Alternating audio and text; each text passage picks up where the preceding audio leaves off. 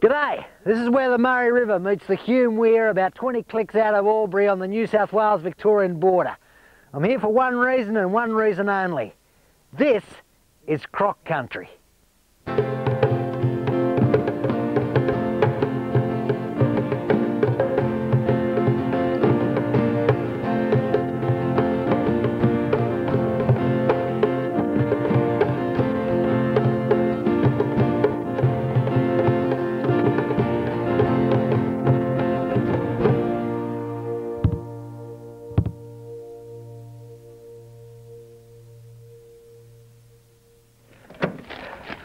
Well, it isn't really crocodile country, but they reckon a croc that answers to the name of Reg has escaped from a nearby wildlife park. And they reckon it might be a job for me, Rusty Gudgeon. So I'm going to hop in the chopper and take a look.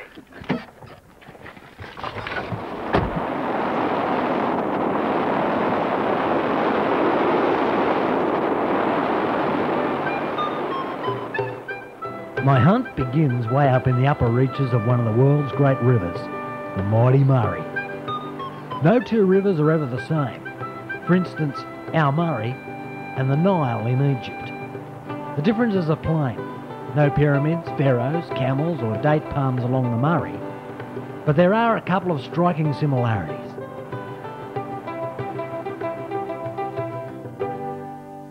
Millions of trillions of years ago, these inland waterways were channels full of a liquidy substance known as water. The dinosaurs called them rivers. Much later, native peoples fished and used the bark from trees on the bank to make canoes. They managed this without upsetting nature too much. However, the Industrial Revolution ushered in a whole new era. One of dams, hydroelectricity, cars, trains, planes, introduced plants and animals, mechanical monsters, right. scary guys. Ah, scare, take that. Why, why I order? What the?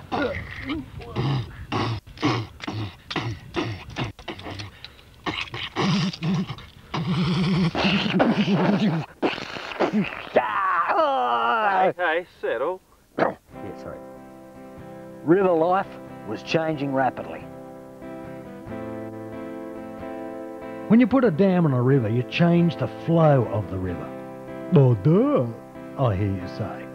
But by changing the flow, you change what's underneath the river and what's around it.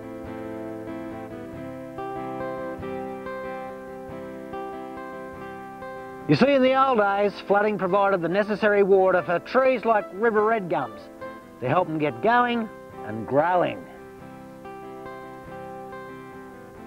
The length of time between floods helped to determine the mix of plants on the floodplain that stretched out from the river. When you decrease the number of floods, it decreases the diversity of plants on the floodplain and this can allow exotic species to invade. The same goes for wetlands and billabongs. They have their own unique plants and animals, many of which you wouldn't see in the main river channel. High river flows are vitally important to many freshwater fish. Floods stimulate many fish to migrate upstream and reproduce. Golden perch, for example, can migrate over a thousand kilometres. There's heaps of food on the floodplain and that's good for the littlies in their first few months of life so they can kick on. Some native fish breed only in flood years.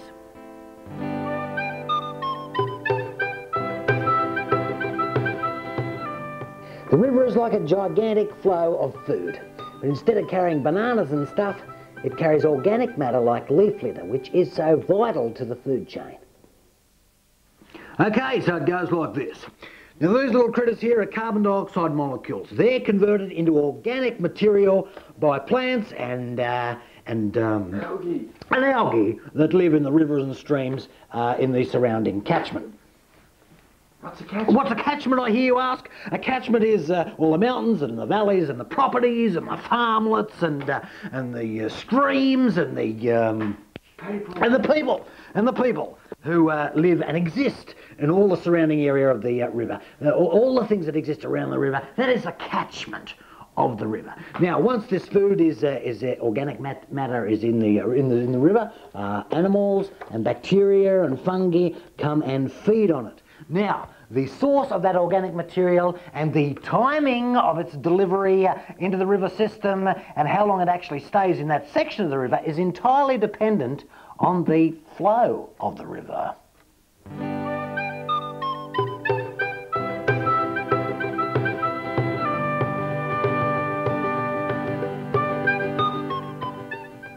Well, at the same time as the river's being starved of organic material from the floodplain, the levels of nitrogen and phosphorus are increasing due to changed land practices. Nitrogen and phosphorus come from fertilisers, chemicals, even a cow pooing in the river. Increased amounts of these nutrients combined with low river flow have fueled the growth of blue-green algae in the river.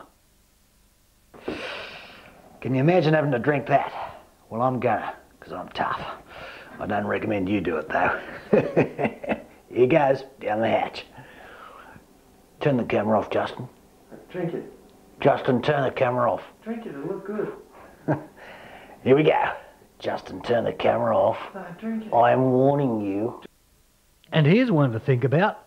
If you change the food source in the river, it's likely to change the species of animal that feeds on it.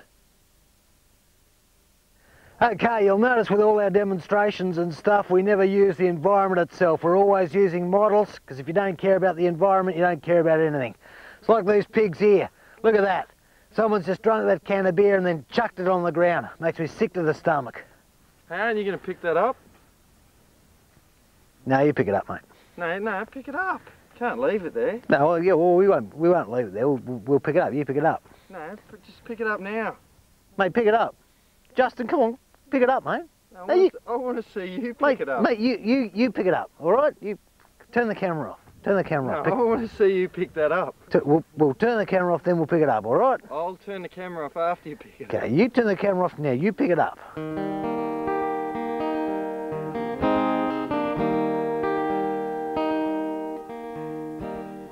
Right, well, I've just been down the local wetland takeaway and caught myself a bit of local tucker.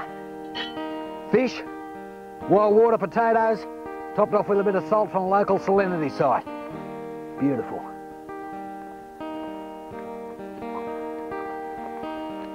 You know, if I didn't know better, I'd say that was carp.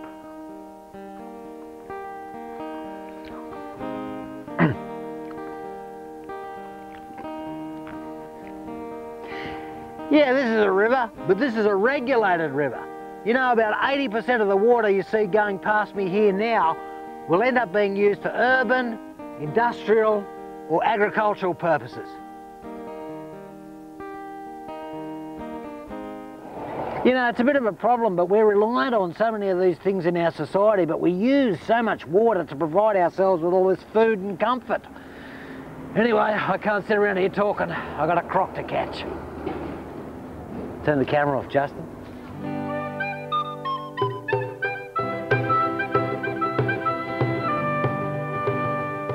Well, here I am back at the floodplain wetland, and it seems incredible, but we've only just learned to value the role that wetlands play in the conservation of flora and fauna, like these penguins behind me.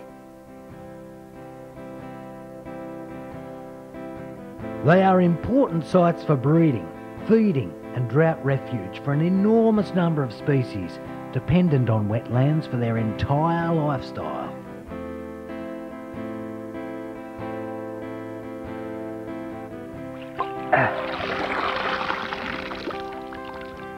It's recognised that wetlands enhance water quality by filtering sediment, reusing nutrients, absorbing and releasing floodwaters back into the system, and as an important source of organic material that goes back into the river. Whew, could be a bit warmer though, a bit cool here. Crocs like warmer water, you know. Anyway, I'm here as a human bait, trying to entice the croc out. Ooh, I think I might have something. It's a leech. Justin, it's a leech! It's a leech! It's a leech! It's a leech! Justin, it's a leech! In Australian dams, you've got two layers of water, warm and cold. The outflow at the base of the dam is generally very cold, low in oxygen, high in nutrients, things like phosphorus and ammonium. Now this is no good for your aquatic insects and fish that live downstream from the dam. Native fish, for instance, can't hope to spawn in that sort of cold stuff. One solution is to release warmer water from the top of the reservoir. Multi-level offtakes have been developed for this purpose. Another is to artificially mix all the water in the reservoir, thus dispersing the cold bottom layer. For this purpose, I'm going to be using the Rusty Gudgeon Action Mixing Drill. Mixing up all the water there. This could take some time. Of course, supplying water during the irrigation season often results in the river running at a constant height for long periods. Long periods of constant flow can change the shape of the river by causing bank erosion, which results in channel widening. But if you get a sudden change in the weather, like a thunderstorm, people downstream mightn't need as much river water for their needs. So the river managers release less water from the reservoirs the sudden drop in flow can lead to waterlogged banks collapsing, increasing turbidity. Turbidity, well, it's just another name for dirty water. Anyway, come up here to catch a croc. These chunks of granite are helping to stop erosion, and that's a good thing. The downside is that your local platypus will need a jackhammer to dig a hole through this lot. Crocs don't like it either. The granite scratches their guts. These willow branches make great crocodile traps. Here, I'm using a design taught to me by native hunters. Speaking of native, willows are not. Yet they're so prolific, people think they're our own. Like they should be on the coat of arms or something.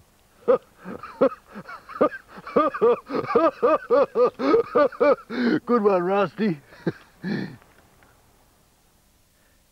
but their fair income gone berserk.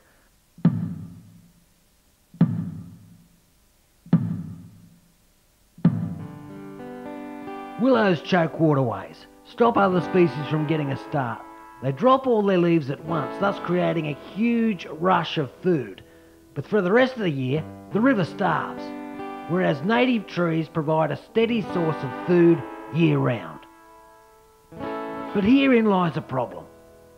You can't just pull willows out and start again. The holes left would lead to massive erosion, and you can't rock bank the entire Murray or paint the banks with cement to hold them firm. Your local Landcare group can tell you the best way to attack your willow problem.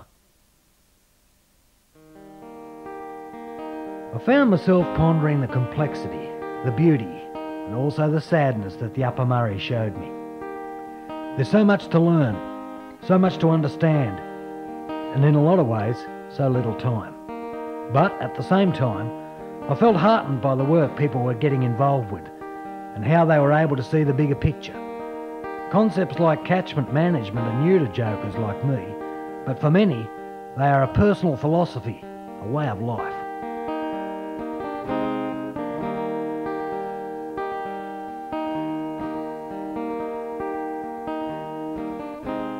It was in a moment of pure serenity that my mind was catapulted back to the reality of my own reality.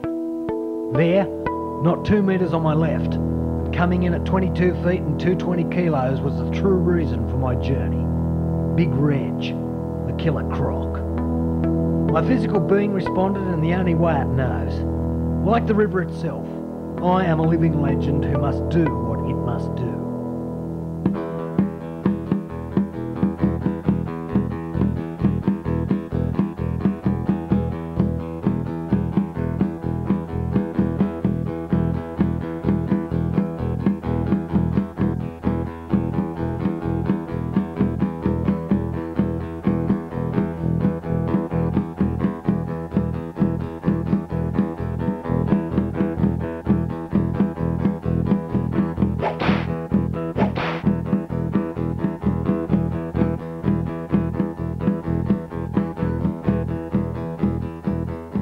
Reg was no match for my virile manly cunning.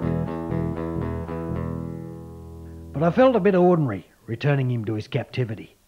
He's been a part of our landscape for the last 20 million years, just like the river. Who was I to bottle him up, just so I could make a documentary? It got me to thinking. If Reg wasn't in trouble, if the river wasn't in trouble, I wouldn't be here. then I wouldn't have a job. Then I wouldn't be able to punce about in helicopters and stuff. Then suddenly, I got a call that slammed my reality back into reality. Yeah. Yeah, no worries. Been right there. Righto, Justin. Couple of bilbies and the Goanna have gone berserk just outside of Uluru. Let's hit the chopper. Oh, you said we'd get some skiing in while we were here. No way, mate. Come on, job's on, mate. Pack up. No way, you said skiing. I'm Justin, turn off the camera. Skiing. Turn off the camera. No way, your exact words were. Justin, turn off the camera and mount the chopper, please.